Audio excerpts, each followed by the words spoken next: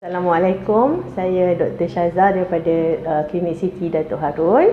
Hari ini kita akan menceritakan mengenai vaksin hepatitis B.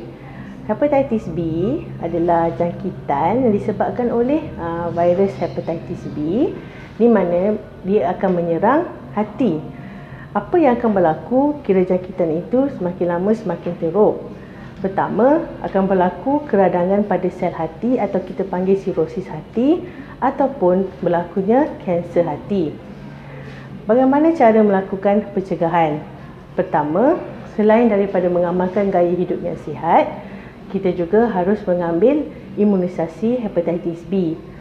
Secara umumnya, diberikan pada bayi baru lahir, kemudian diulang pada usia 1 bulan dan 6 bulan.